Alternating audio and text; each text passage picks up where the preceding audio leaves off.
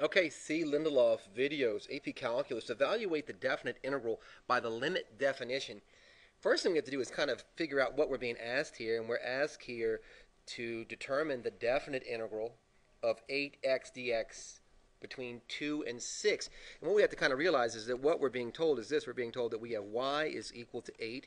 I know it's 8 because there's no x here. It's not 8x dx. It's just 8. So we, we have this function y is equal to x. And we're looking at it on the interval sorry, 2 to 6. And if you just looked at this for a second, I think you can see the answer. So here's the function. If this was just a multiple choice question and I was asked to figure this out, I wouldn't do any of this calculus.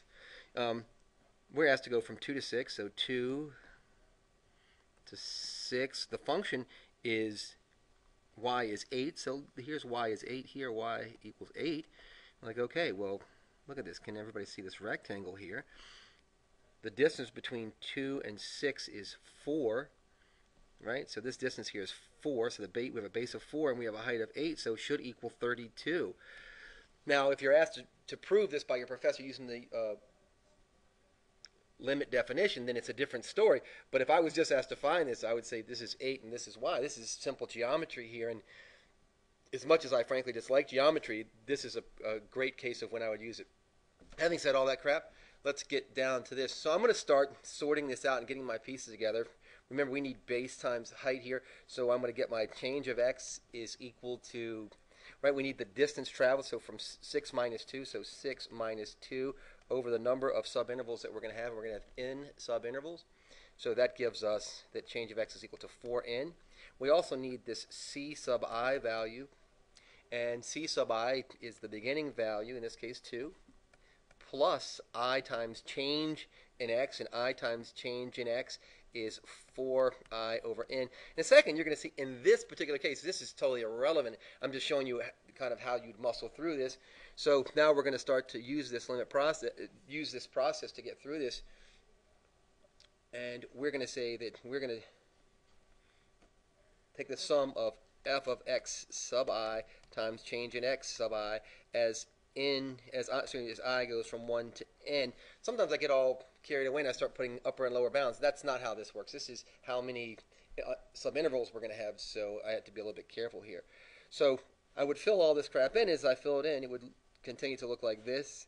So I'd have f of, so I'd have f of c sub i. c sub i is 2 plus 4i over n. And maybe you can already see that this is a exercise of futility because what this thing does is it keeps telling us how we're going to calculate the height at any at any given place. That's what's going on here. But we know that we have a horizontal line. So we have this function. Our function is y is equal to 8. So this is us calculating height. Well, we don't need to calculate height. We know our height will always be consistent. So we have summation as i goes from 1 to n of 8 because the height is always 8. Don't get freaked out. 8 times 4 n. We can clean that up and get, I'm going to stop writing all this, i equals 1 to n of 32 over n.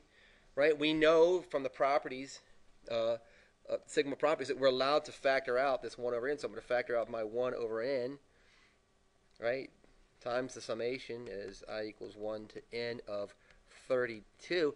Now we're going to use our summation formulas, and you have to have these memorized. They're going to really come in handy. So we're going to go to our summation formulas.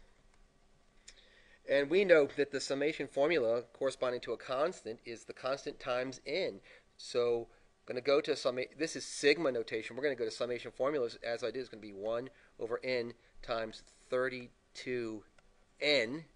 which simplifies to 32, doesn't it? We're going to have 32n over n is 32.